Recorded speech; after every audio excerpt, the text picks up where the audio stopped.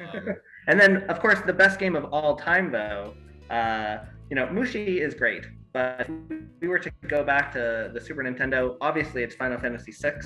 Chrono Trigger is so lame. Uh, Final Fantasy VI is way better. That's still wrong. You're so wrong. Chrono Trigger is the best. Um, Ibu, I think this is actually the first live interview with both uh, Jay and I. So, no way. yeah, That's crazy. Okay. All right. Well, exclusive. Let me uh make sure I'm, I'm all good. Oh my god, I'm not ready. All right. Welcome back to Algo HQ. I am here with Chris Swenor and Jay McCarthy, the co-founders of Reach, which is a blockchain development company. Uh, welcome to the show, both of you. Oh, thanks so much for having me, Ibu. Yep. Howdy. Yeah, so I, I've met you guys before. Um, well, we actually have some history just for people who are watching this for the first time. And Chris and I do this Sunday call together. Uh, you know, every Sunday, 1 p.m. Eastern time. We have like a bunch of Algorand people come together. Uh, and it started about four or five months ago, probably. And it's really like turned into something. You know, we've kind of become these personalities in a way. Um, and so we have a lot of uh, discourse in that, but this is the first time that we're getting to chat one on one. And then Jay, I met you at Decipher um, in this. We did one of those Sunday calls, but it was live, and you were there, and that was pretty fun. And yeah, it's it's a pleasure to have you both here. So thanks for coming on. My pleasure. I, it was it, I, when we first started, there was like you know four people listening. Now there's close to a hundred sometimes. Yeah, I know. It's it's pretty nuts. um, so the you guys have a bunch of different things you work on.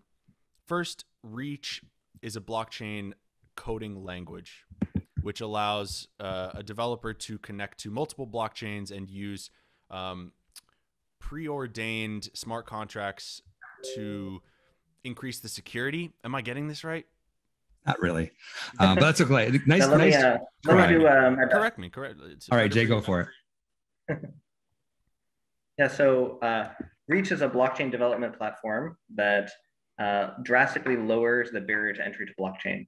We make a much simpler way to program using a JavaScript based language, and we use a high level of abstraction when you write your program in the first place. In addition to that, when you run your program, when you compile your program with Reach, we automatically formally verify it and check that certain security properties always hold for every reach program. Some of these are simple things that most people can understand, like not having uh, numbers overflow or not locking funds away forever. But others are more sophisticated, and you, as an as a reach programmer, can add whatever uh, additional constraints you want in your program. As you mentioned, it's blockchain agnostic, Mm. and one of our sort of marquee uh, backends that we compile to is Algorand, because Algorand is extremely fast and efficient, and we you know support other blockchains as well. So let me ask you, And it's not only a programming language, it's also the whole development platform. So when you use Reach, you get to have tools to test and deploy your code as well, rather than just programming it. So let me ask you, Jay, what's what kind of project is best for using Reach? Like, um, I kind of want to dig into like the the the strengths and the weaknesses of Reach, uh, and what are the strengths? Like, let's go on that first. What kind of project was best suited to pick up Reach and and go with it? In my opinion, there's almost no project that you wouldn't want to use Reach for. So I kind of want to say that all of them. But if I were to, if you were to twist my arm and say, okay, well, you have to say which ones are it's best for, I would say that the two things that it's best for is it's best for a, a beginning programmer. So a beginning programmer, um, the low level design tools that are available on the platforms that we target are very difficult to use and difficult to learn how to master. So a beginner is especially well suited to get started using Reach because whatever project they want to do, we'll be able to handle and um, it'll be easier to do. So that's sort of one side. But then the other person that I would say, or project that is really optimal for using Reach, is one that is so complicated that using existing tools, you would have almost no way of getting it correct. As a concrete example, you know, when you, um, like every program that you're using right now, like we're in Zoom right now. So ultimately, our the processors on our computers are running them, which means that ultimately machine code is in control of Zoom. Right. However, it is almost certainly the case that Zoom was not written directly in assembly because almost no programs are written in assembly anymore because it is too complicated to do so. Mm-hmm. Basically, the only things that are written in assembly are very simple programs that control like a hardware device. Everything else is written in high level programming languages. And that's really because if you were to try to write a web browser or Zoom or something like that in assembly, you would never finish uh, because it's just so complicated to do. So Reach is like that for blockchain. The existing tools are like assembly, and Reach is a high level language that anyone can use. Okay. So, uh, quick question. You two wrote Reach yourselves, right? I mean, he wrote Reach. I- I'm the cheerleader. so, and this is not um this is not a dig. How do I know that Reach is legit? Like, I know it's legit from, from a personal standpoint. I know people who yeah. use it, but let me just like the question is if it if you can guarantee me that Reach is a more secure and and more efficient way to build on blockchain, and you built Reach, it all comes down to you, doesn't it? So how yeah. can I how can you how can you guarantee me that Reach is a better option? Yeah. So um, I think that there's uh, there's there's three things that Reach provides value with. It makes it it's easier, it's faster, and it's more secure. So for each one of those, there's a different way to evaluate our claim. So with the easiness, um, the, the simplest way, of course, is for you to try it and uh, decide for yourself whether it's easier than the alternatives. We can point to our community of 4,000 developers, actually, I guess 4,500 now. 4,500. Uh, yeah, 4,500 developers who have uh, built using Reach. And we can we can point to them and say, well, actually, you know, that is a, a number that is um, comparable or larger than some of the networks that we attach to. So that tells you that uh, lots of other people find it easy, but I think that the easiness is something that is easiest for you to evaluate on your own. Mm. Now, the next metric is the fastness. So when I, we say fast, oh, go ahead, Chris. I, I would say that uh, on top of the, the you know asking and seeing yourself is one thing, but I personally believe that looking at uh, lines of code total is a great way to look at it and say this is easier just because the more lines of code the harder it is to actually build things right and you know looking at for example humble that we're launching uh, I, I, actually haven't looked in a while but uh, for for a long time the number of lines of code for the pool was under 300 lines of code compare compare that to writing it in straight teal um, you're looking at thousands of lines of code mm. so be, between the two right there that's like you know obviously it's going to be easier to write less number of uh, lines of code. Right. Yeah. Yeah. So uh, Humble, for instance, uh, the program is about 350 lines, I believe, there and it compiles to two different programs that are each about a little over 3,000 lines of Teal code. And so even if you, we were to imagine that Reach was extremely inefficient and under optimized, let's say that it was twice as bulky as was necessary, that still means that it's 10 times less uh, code to produce than you would have by hand. Mm. But the other dimension of fastness is not just ease of adoption and learning it, but the other way to think about fastness is the performance that the programs give um, and the performance that your developer gets. So though that lines of code is a nice way to think about the performance for the for the developer because um, if I enter the Algorand world and I'm trying to build something, uh, and if I use directly the low level tools, I have to think about ideas like transaction groups. Is this going to be a pay transaction or an axfer a transaction? And oh, do I have to make sure that I you know, have my users opt in to this application first? And should I do that by setting the uncompletion tag on this transaction or that one? There are mm-hmm. all of these low level details that a developer has to think about. And all of those are completely abstracted away. Okay. So that is by raising the level of abstraction, that's in fact what makes it easier. Furthermore, there are optimizations that we can do on the program itself because we understand more about what the program does than something that is just looking at the assembly directly. So let me give you a really concrete example of that. So um, one of the things that you might want to do is you're gonna store inside of your program some global state that's used every single time. And that global state, you may have uh, at one point in the program 10 variables, and at another program, another part of the program, eight variables, another part of the program, 11. Okay. And what Reach is going to do is look at all of those variables and figure out, okay, well, there's this common set of five that's always used. And then these other ones are different every time, and it's going to compress them all into the same space. So the amount of space that's used in the global state is the minimum necessary for running the whole program. Now, that would be something that you could do by hand, but it would be very difficult and dangerous to do so because it's very hard to keep track of in your head, like, oh, at this point in the program, this range of bytes means this, but in this other part, it means that other thing.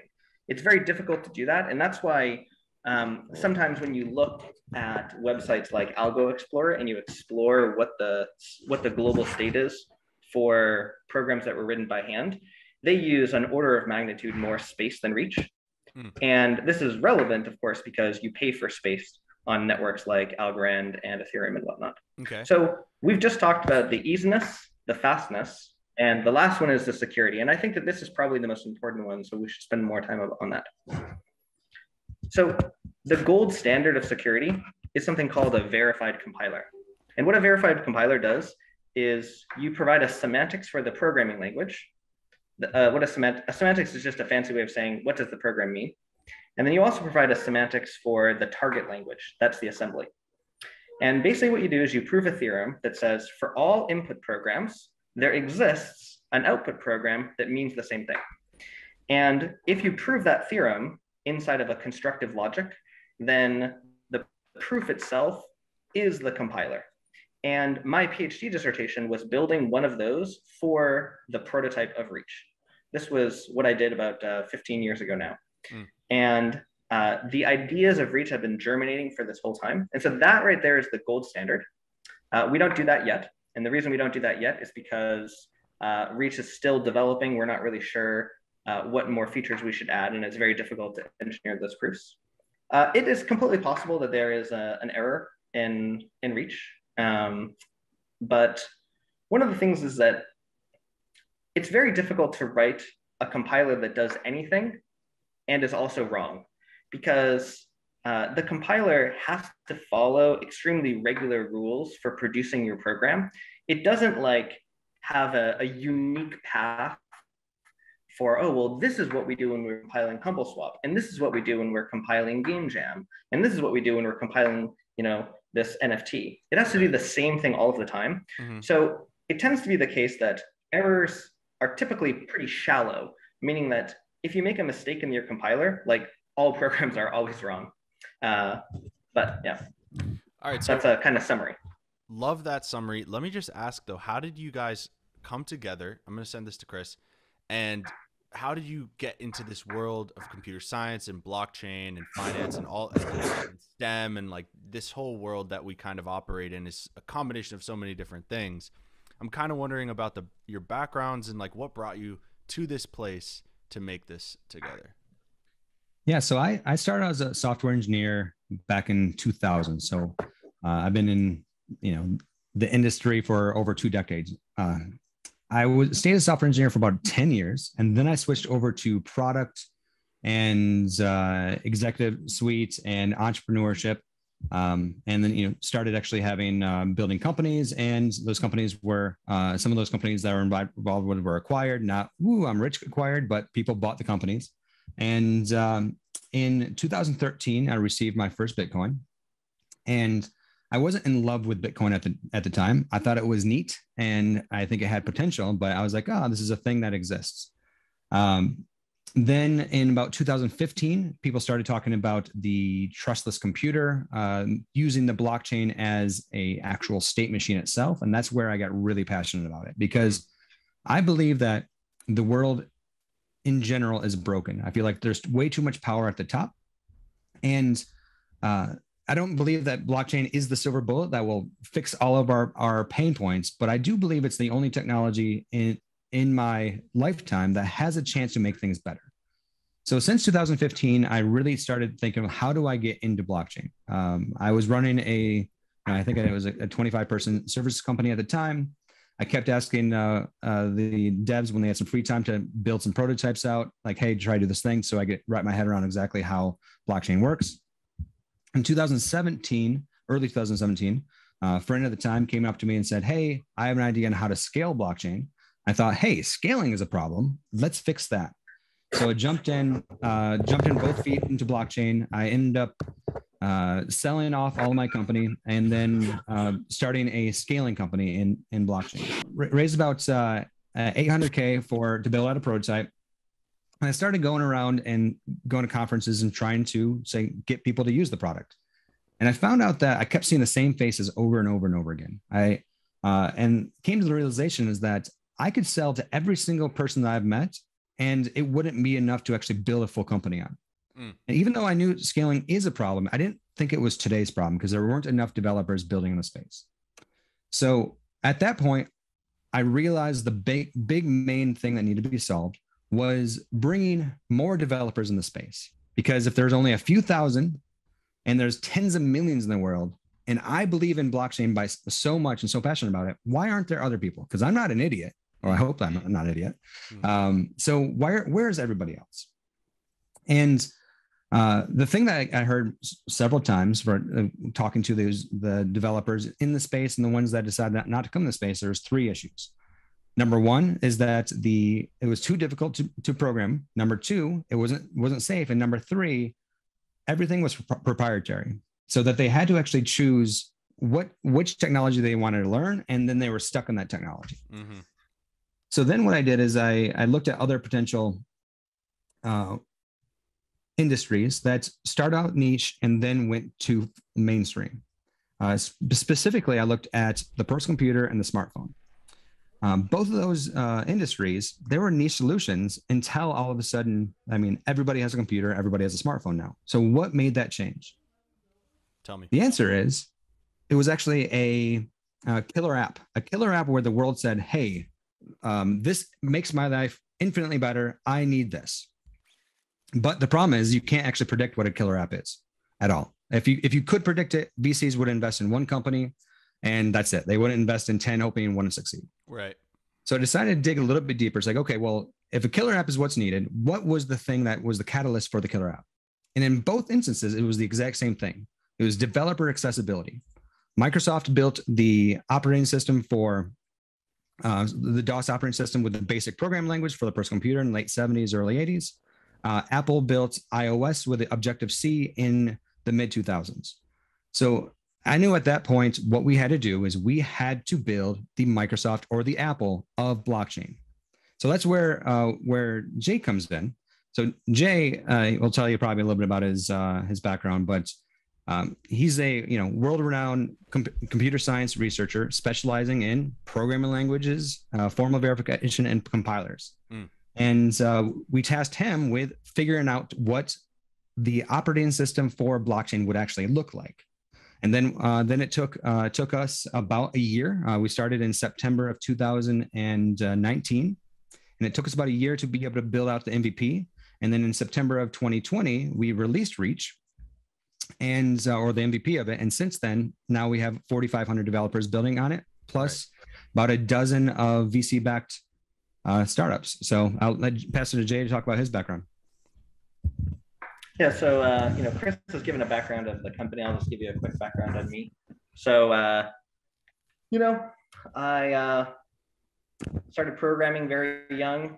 Uh, thought it was awesome. My first computer was a Unix terminal uh, running Ultrix because uh, my uh, my dad worked at Digital Equipment Corporation, mm. and uh, learned how to program in C with the Ed editor, which lets you write one line at a time. And I got really into C programming, and um, then I, you know, went to university and uh, studied computer science and math and economics. And then I did a PhD at Brown in computer science, um, where I specialized in uh, building a programming language for writing cryptographic protocols uh, that did that had a you know verified compiler and did you know static analysis of the program. You said you were doing that 15 then, years ago. You said you were doing that yep, 15 yep. years ago. So there yep, was so blockchain I did, um, really 15 years ago. So what were you doing? You know, how can you? My question might sound simple, but how can you build something for blockchain that's pre-blockchain? Ah, uh, yeah. So yeah, I mean, I I built it. I built something that allows you to write programs uh, that were like uh, that were sets of uh, communicating participants, just like how Reach works. Like it really is just a prototype for Reach. Uh, the thing though is, is that when you compiled it, basically it was totally trustless uh, in that each program, uh, like each participant, uh, ran on their own, directly communicating with each other. Hmm. So it's essentially like um, what blockchain does is it provides a communication mechanism and uh, that automatically checks that messages come from the person they're supposed to that they're claimed to have come from so it basically like um, centralizes the authentication mechanism um, and it has this uh, append only property where you write once and then things stay forever mm. so you can uh, the thing is is that um, you can all, all of these block all of these programs that we write with blockchain like you could write them uh, in terms of the data that they're passing around without blockchain. The special thing that blockchain adds basically is the currency um, and the fact that there's a distributed computer executing the programs. Those are the two extra things. There's like the cryptocurrency, and then there's the, the smart contract. But the actual programs and the way you have to think about them, like designing a, a, just a distributed system like that, that's really what my research was in before. And uh, you know, from that, then I you know became a professor, a tenure a tenure track professor at Brigham Young University, um, where I continue doing research in programming languages and verification. Um, I'm one of the managers um, of the Racket programming language, which is a um, a Lisp-like language that uh, you know has a an industry and web focus. It's kind of researchy. We do a lot in helping um, uh, and making it suitable for education. So I did a lot of work in computer science education. But anyways, um, so I did research in that area for a long time with lots of work on, you know, designing new languages, formal verification, etc. And uh, basically, I had a reputation, you know, as a an academic computer science researcher for doing this kind of work. And um, quite a few people, you know, came out and asked me to work on giving them advice about verification for their blockchain projects or giving them advice about how to make uh, blockchain systems. And that's how I really got into this world. Mm. So it's kind of funny. I essentially have been working in blockchain for 20 years, but I didn't know about it uh, until, you know, um, until four years ago or so. So, so what, one of the one of the really cool things I, I tell a lot of people, and I don't think a lot of people know that this is that um, blockchain wasn't really a technical innovation; it was a economic innovation a lot of the stuff that goes into blockchain has been around forever. It's just a matter of how it was put together and the economic systems that uh, make make it survive. That's that was the true innovation. Cool. So you guys, product wise, uh, you have a few things that you're working on that Chris alludes to often. But first, let's start with Humble. Humble DeFi seems to be the um, first thing that you guys are going to come out with. You have a Dex on testnet right now. Uh, but what else do you want to build into Humble DeFi? Uh, because you actually changed your your branding from Humble Swap to Humble DeFi, so that that entails that there will be more products built in over time. What are you guys thinking? Um, to, like, what do you want to add to the Humble suite to to really upgrade it and bring it to the next level? It's a great question, uh, there is uh, fun that you caught that. So we've always been Humble DeFi but uh, when we were actually putting everything out, where the first product that we were releasing was Humble Swap. So I mean, the, the Twitter was Humble Swap. So uh, it wasn't actually a new thing that we switched back to Humble DeFi. It was just a, a more clarification of really what Humble really was. Uh, but to answer your question, yes, 100%. Uh, the swap is very much this the first step. Uh, swap hopefully uh, be released at the end of this month or early early next month on mainnet and it's just a, a traditional AMM swap uh, with, with your traditional pairings of, of tokens.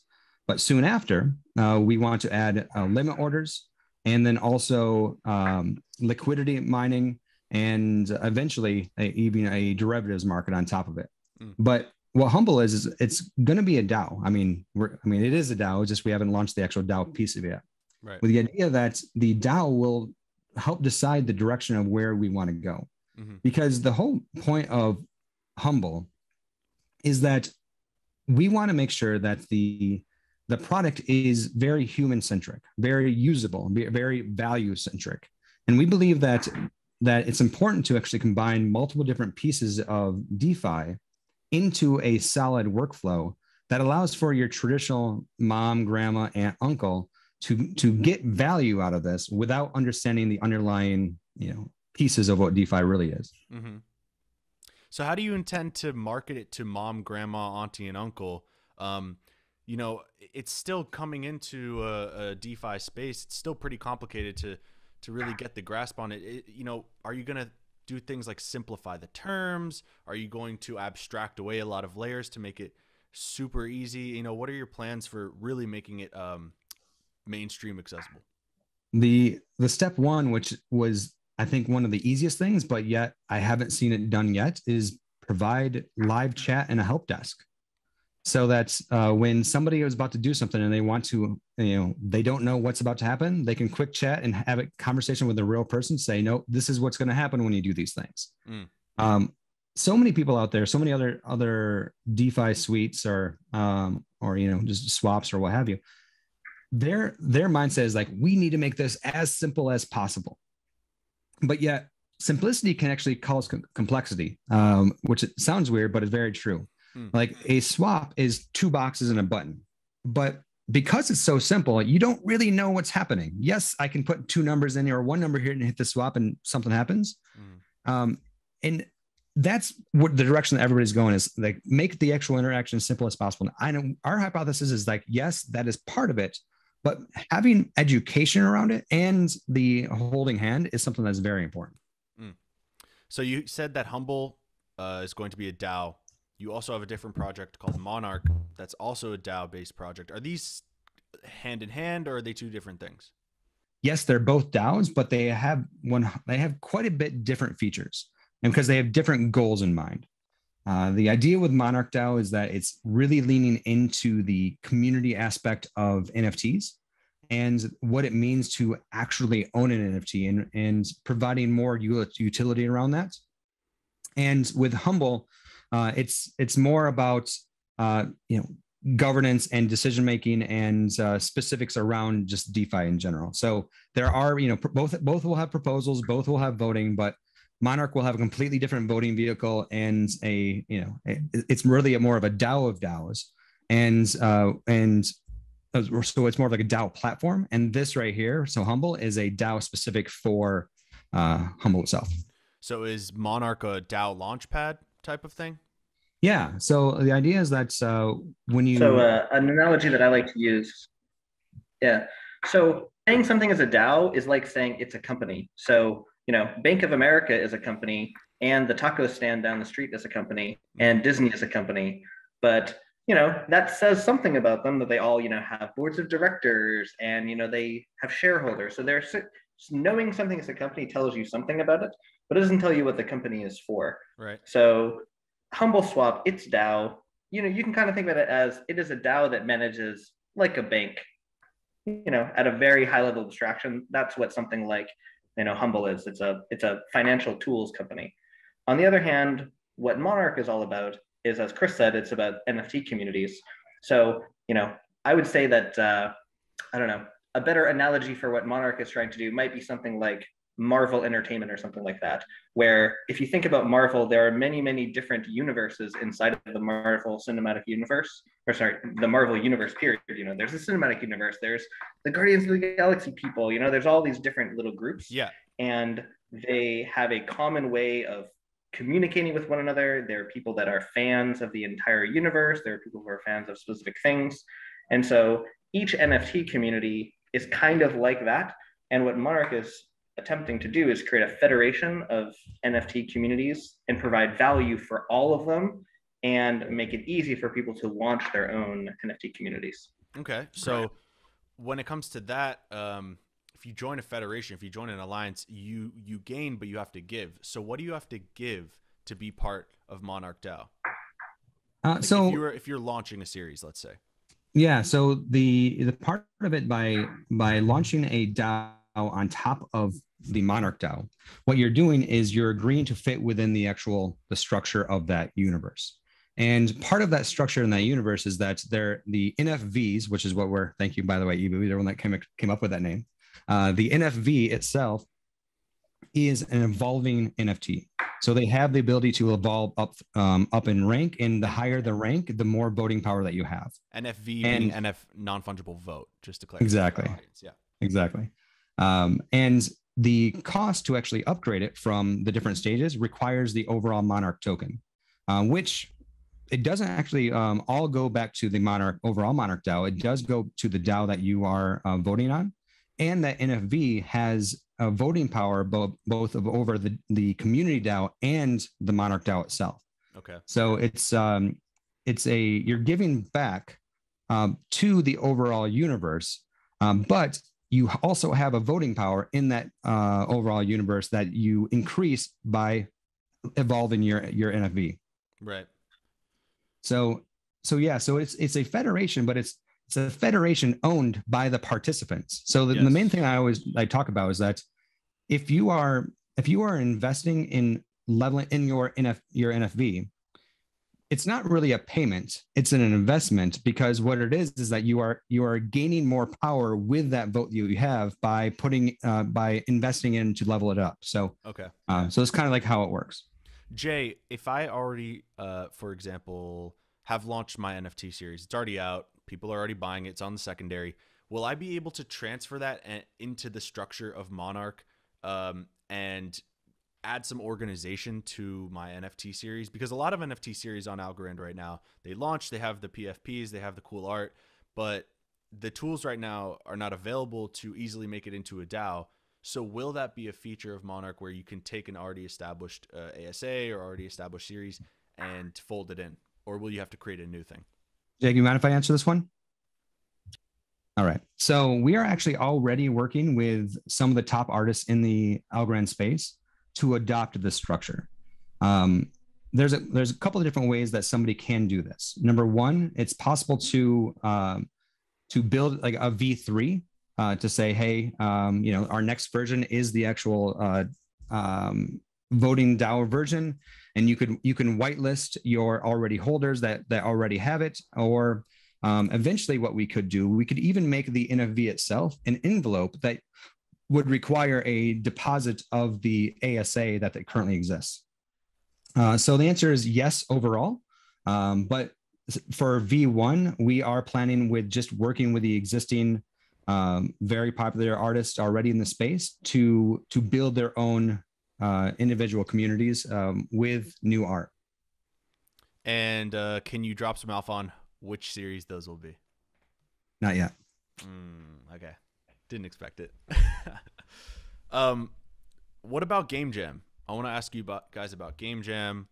Chris, I want to give this one to you. Can you give the audience a quick overview of Game Jam before I, j- I ask you some questions about it?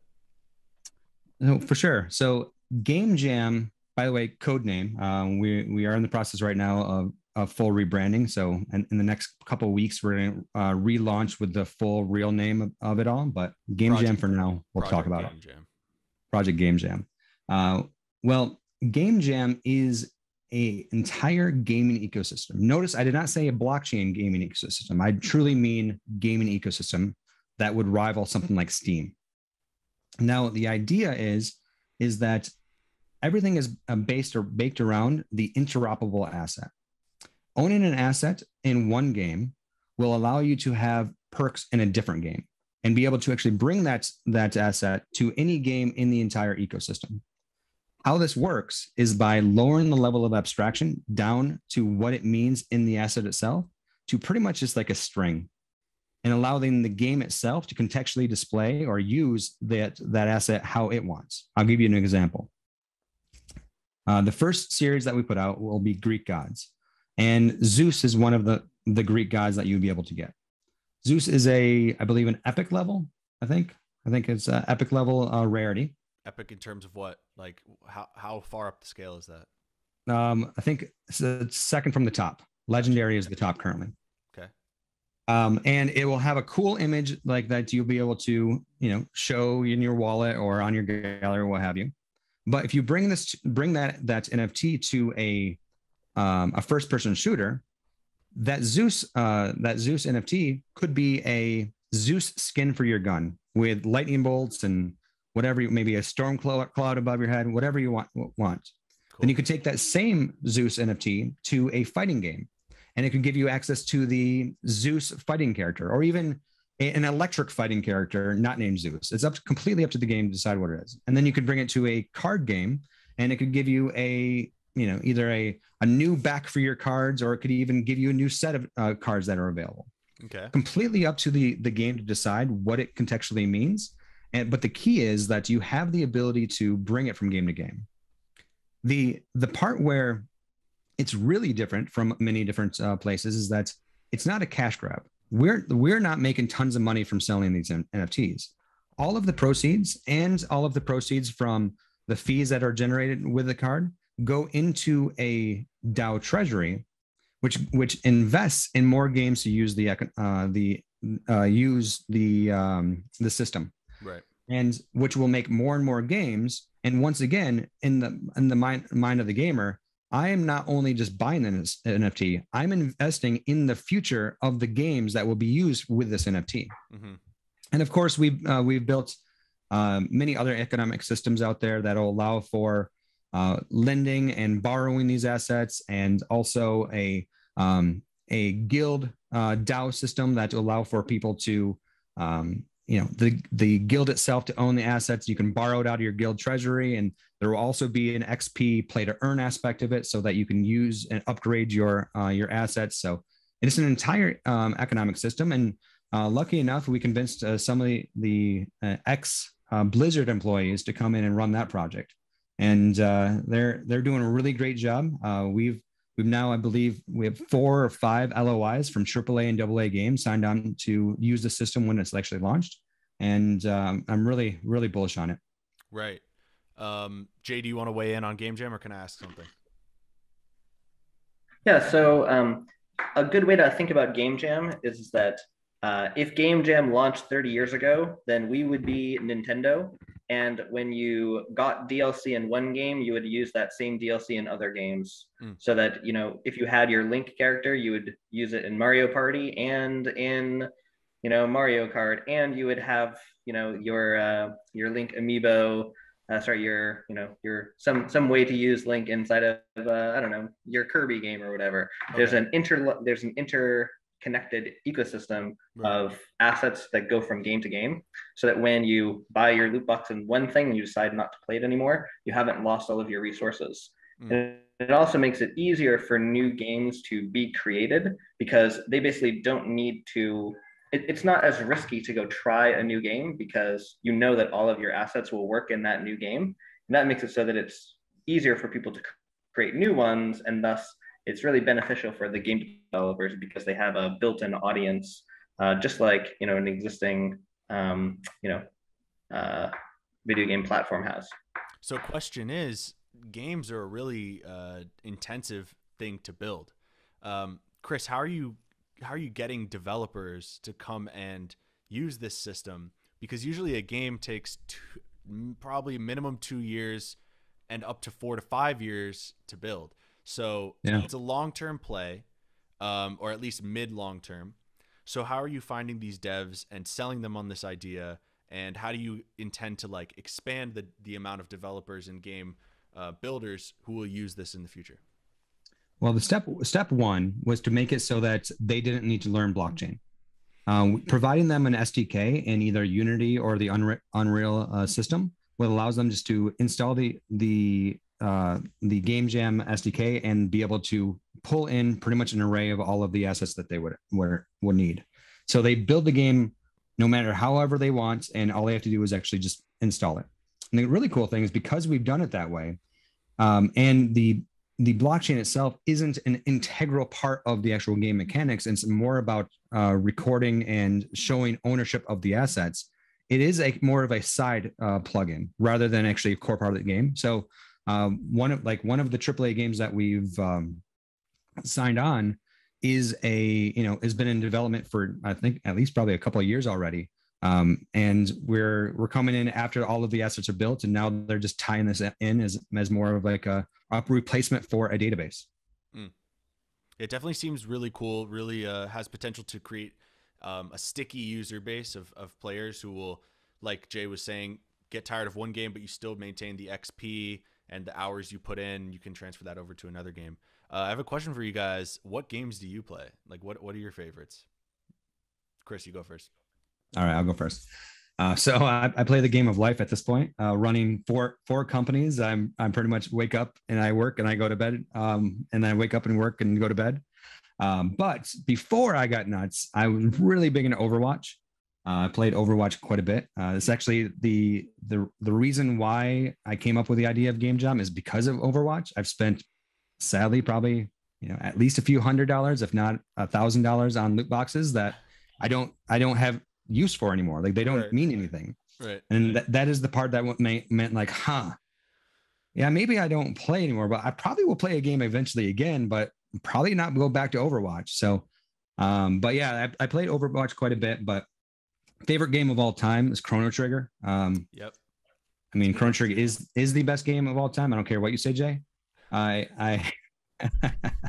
uh, but uh, I've been playing games my entire life. I, I truly am a very deep gamer. Okay, love that. Jay, about you? You gamer?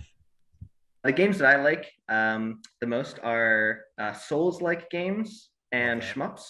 So uh, you know, like I like the 2D Souls-like games. Like I played Dead Cells for a really long time. I love that. Uh, and then I also really like you know normal Souls-like, like you know even ones that are not by From, like Nioh. I liked a lot.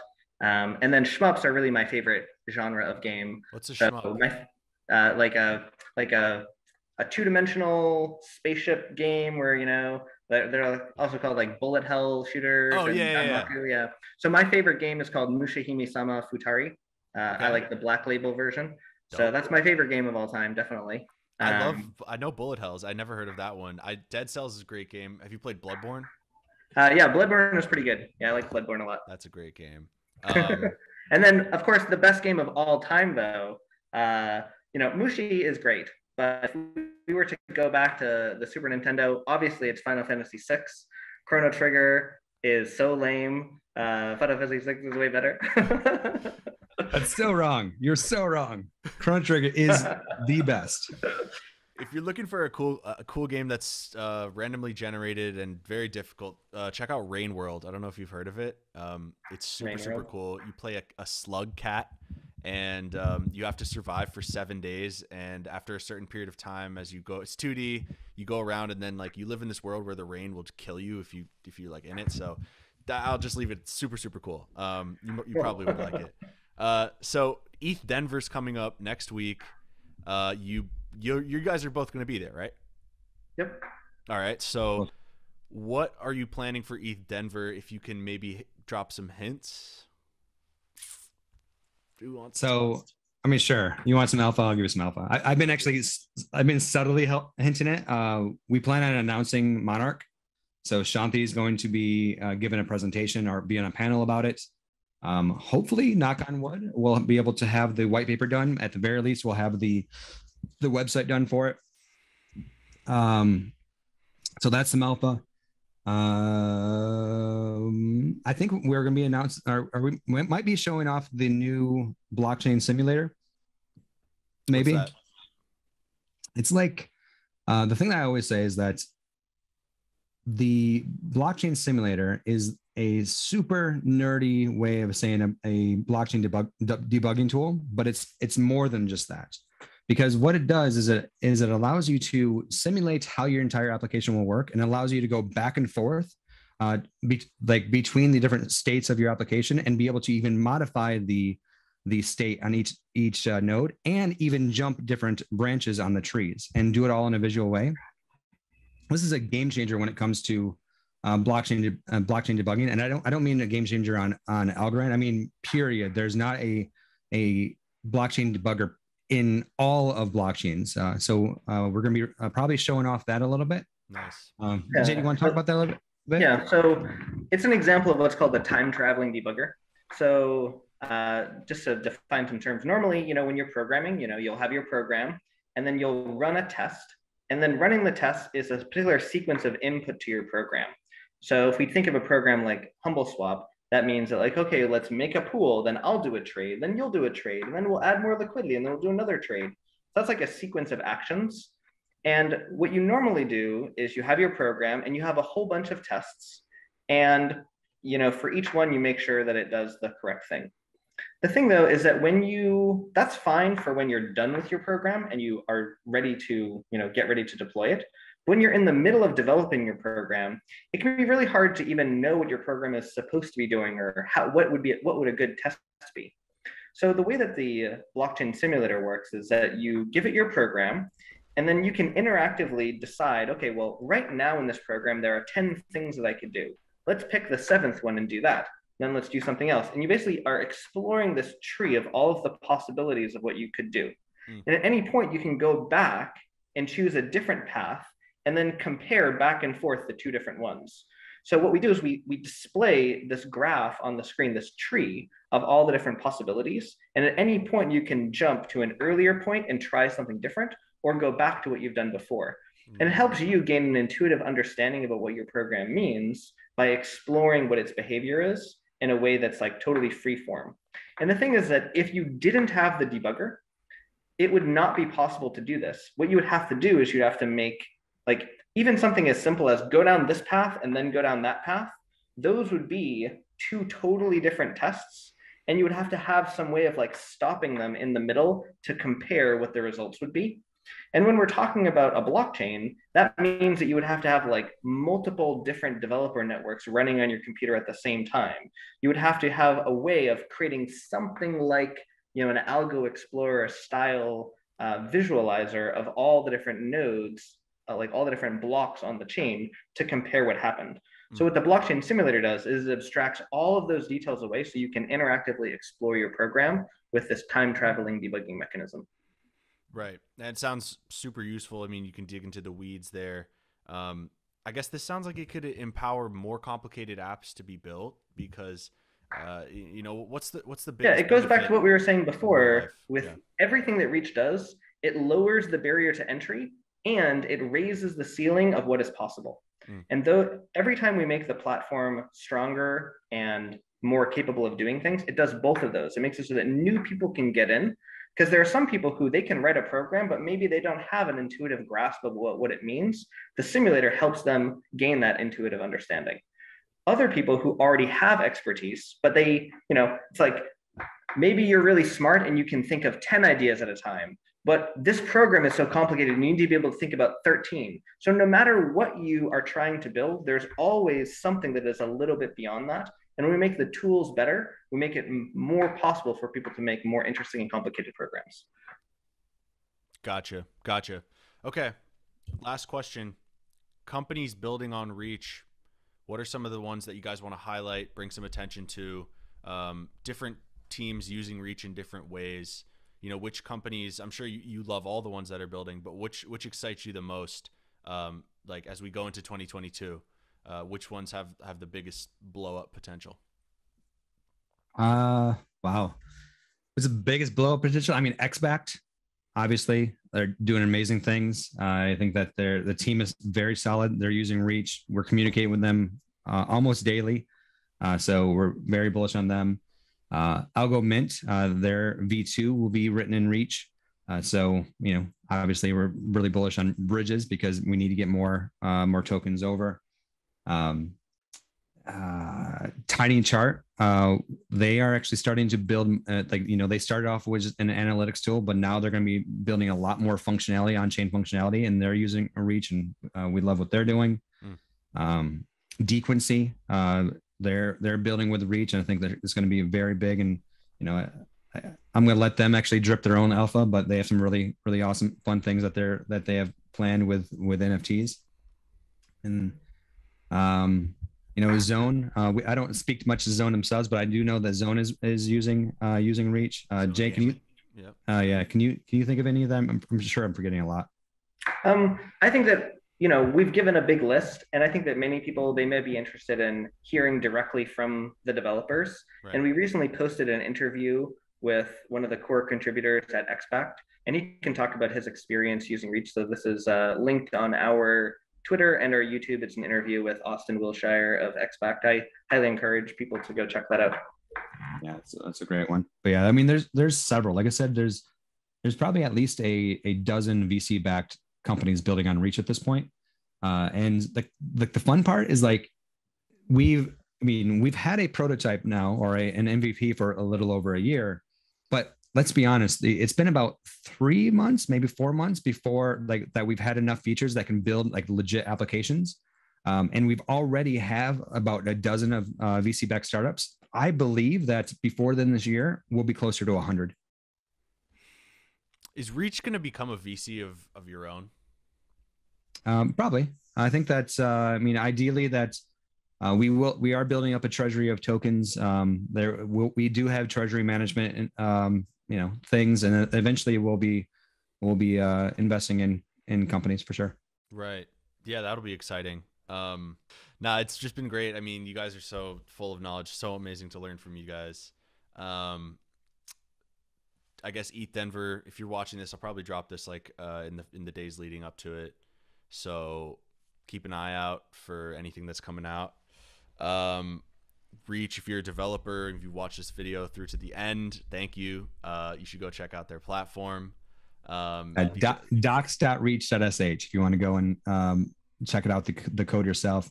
You can, if you're a traditional developer and you're ready to build. Um, oh, you know what? We should definitely talk about. I'm, I'm Brandon's going to get mad at me. We didn't say this already. Is that um, Reach Summit is in March, which is a developer conference that kicks off a six week uh, hands-on boot camp. So if you if you're a developer and you want to get in the space, that is the best time to get so. And then the, the so the conference we're inviting um, all of our partners. Uh, the Algorand community is going to be there in pretty strong force, and uh, like I said, it's going to kick off a six week boot camp uh, for the developers. To and I think between 100 and 150 developers we're going to send through the program. Mm. So that as well. What about for people who aren't developers but want to get into this space, get into um, blockchain, uh, interact with Reach in some way? What do you think is a good is a good way for them to get involved if they have zero coding experience? If they have zero coding experience, you're part of the community. You're you're there. You're helping. You're you're help spreading the word. Uh, one of the things I'll say on pretty much every one of these these calls, are you know, in, in the Twitter Spaces, that we don't exist without the community. Uh, we we might think that the, our product is the best product in the entire world. We do. We do think it's the best. But if other people didn't believe it, if other people didn't use it, it wouldn't be worth anything. So if you are not a developer and you want to get in the space, you know, reach out to us on Discord. Sit, let us know what you're good at. I mean, we have a 45 person team at this point, and only maybe uh, half to two thirds are developers. The rest of them are community managers, uh, people actually heads of community, marketing, uh, biz dev. Like we we are hiring everybody in all different types. So hmm. not only are we hiring a lot of people, but you can be part of the community. And I'm going to tell you a little, little, alpha here. We love hiring out of our community. So uh, if you want to be part of it, you know, start participating, and you'll be at the top of the list when it comes to hiring people. This this uh, clip is going on Twitter just to just to advertise you guys. Perfect. All right. Well, thank you both so much for coming on the show. Uh, it's been great to talk to you. Can't wait to hang out with you in Denver next week. Uh, are you guys you guys going um, skiing? I am. Yeah. Nice. Are you a skier, Jay? Uh, I have only ever skied in New England on uh, you know icy rocks. Mm. So I don't know how I what would happen if I sn- if I skied in real snow. So uh, no better. plans to ski this time. It's uh, okay, okay, okay. Are you, are you a skier or a snowboarder, Chris? I ski. I'm a skier. I'm a snowboarder. Okay. Yeah. Did, did you watch the half pipe last night? No, but I want to. I think snowboarding's awesome. It's just that uh, I started skiing before snowboarding was a thing. So. Oh, where, uh, where I, I was. You can't least. be that old. There's no way. You're not. I think you're you'd be, not. I think you'd be surprised. I remember you don't look like you're in your 50s snowboards for the first 60s. time like, when I was. Uh... I will say, at least from where I ski, it, like there was like a couple of weirdos that had a board every once in a while, but uh, for the most part, it was a skiing.